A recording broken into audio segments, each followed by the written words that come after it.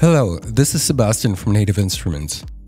In this video, I'm going to show you how to deal with audio performance issues on Windows computers. This involves the third-party tool called LatencyMon, which is used to identify the causes of the issues. This video is intended for all those who are experiencing audio issues such as crackles or audio dropouts on Windows systems. It does not matter whether you're a Traktor, Maschine, or a Komplete user. In this video, we use Traktor to demonstrate what to do, however the process is more or less the same no matter which software you're using. Launch the software you're experiencing audio issues with.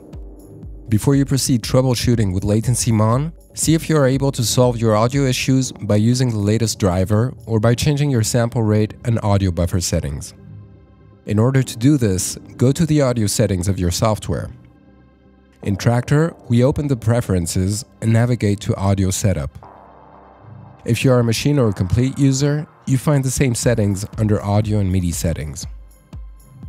Make sure that you are using the correct driver for your audio interface. This should always be an ASIO driver and never a WASAPI driver. If you are using the built-in sound card of your PC, we recommend to use the free generic ASIO4ALL driver. Find the link to our video about ASIO4ALL in the About section of this video. Here we are choosing Komplete Audio 6 ASIO as this is the audio interface we are using. Now go to the settings panel of your ASIO driver. In our case this is the Komplete Audio 6 control panel. Under sample rate, choose 44100 Hz. Higher sample rates consume more of your CPU power required for smooth real-time audio playback and are only recommended if you are not experiencing any audio issues. Next, check the process buffer setting. This is also known as audio latency. On a system with real-time audio performance issues, a buffer of 512 samples is a good starting point. You can try to set this value higher if you're still experiencing audio issues. A larger value will lessen the load on your system by increasing the time available for the computer to perform all necessary audio calculations. If you are using a Native Instruments audio interface, such as Traktor Audio or Komplete Audio, you should also check your USB buffer setting. Try changing the USB buffer to a larger value and hear if your audio performance issues disappear. If you couldn't solve your audio issues by choosing the ASIO driver, selecting 44100 Hz as your sample rate, and increasing the process buffer, you need to identify the specific cause of the performance issues on your system. To do this, download LatencyMon from the link in the description of this video and install it.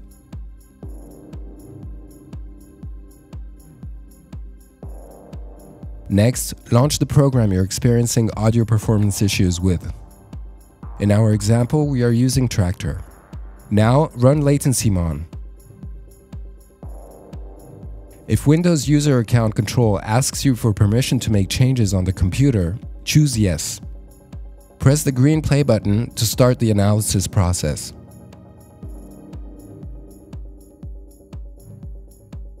Go back to your software and start audio playback or do whatever required to reproduce the audio issue you're experiencing. With Traktor, it is easiest to load a track, press play, and enable a loop on both decks. This way, the audio playback will last as long as needed for the test. If you are a Komplete user, load a few instruments or effects in your sequencer and play with them. In Maschine, you can program patterns and loop them.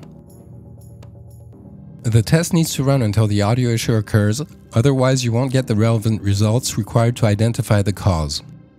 After the issue has occurred, let the test run for another 2 minutes, and then press the red stop button in LatencyMon to end the test.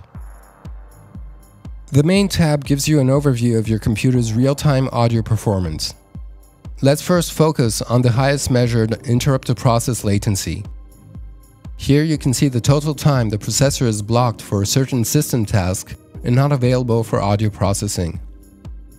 If this shows a value of 1000 or above, this is an indication that real-time audio performance is at risk. If it shows a value of 4000 or above, your system's current state is not suitable for real-time audio processing. Possible solutions include updating your BIOS and chipset drivers as well as installing the latest Windows updates. In case these measures don't help to reduce the interrupt to process latency, contact the manufacturer of your computer for further help.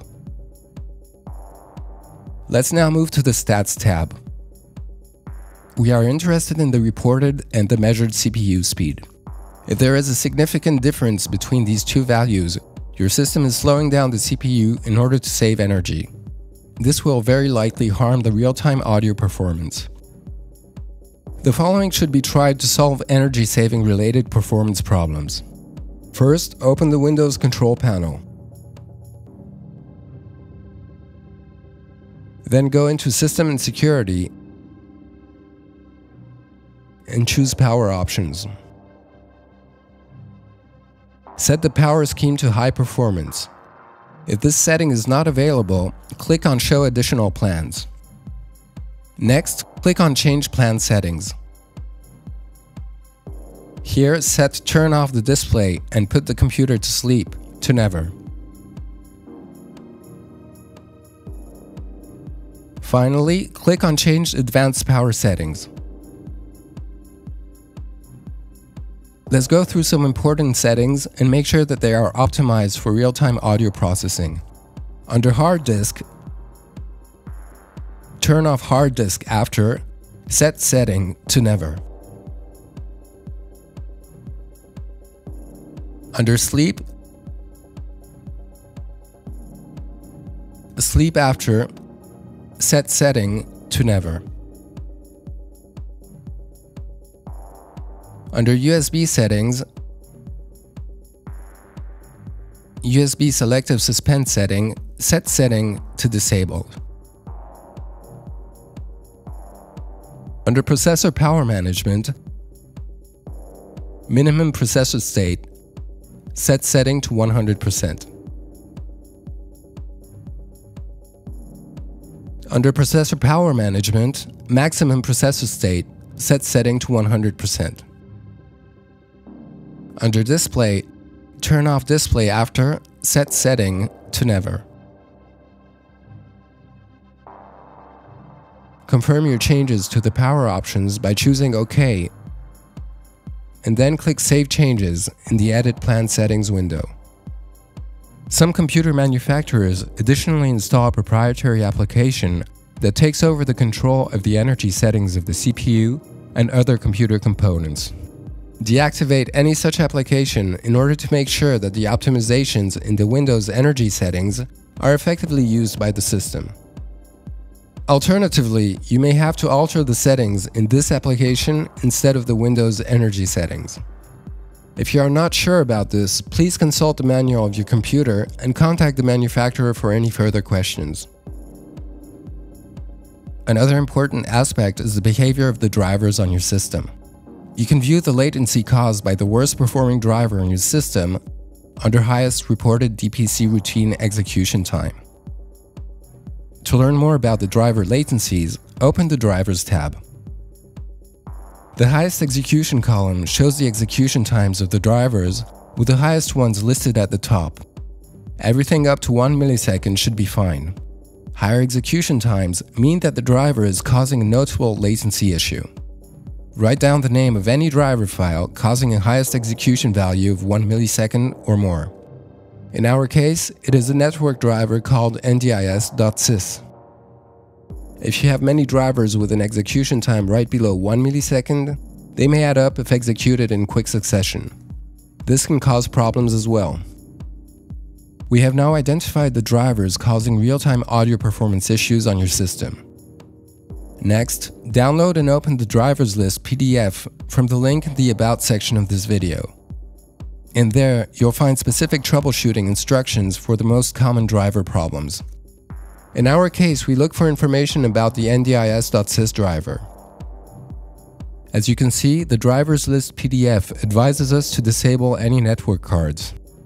To do this, go to the Windows Device Manager, right-click the corresponding entry and choose Disable.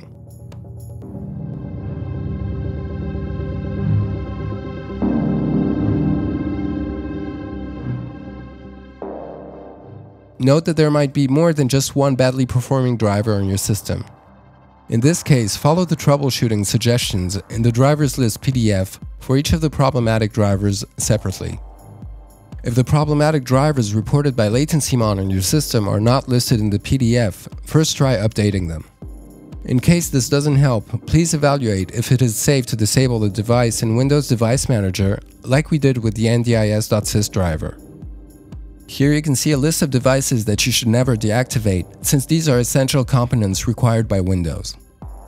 In general, you should not deactivate anything which is listed in the following branches. Computer, disk drives, keyboards, mice and other pointing devices, processors, storage controllers, or system devices. You can now run LatencyMon again in order to verify if the changes made to your system have improved the identified problems. Make sure the first test has been stopped before you start a new one.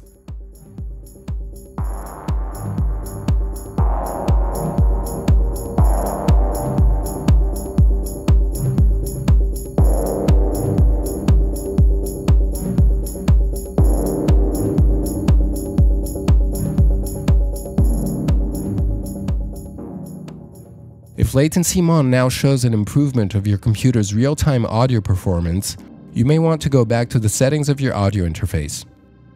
You can now try to set lower process and USB buffer values as well as higher sample rates. Note that this is optional and you should only do it in case you have specific reasons for changing these settings.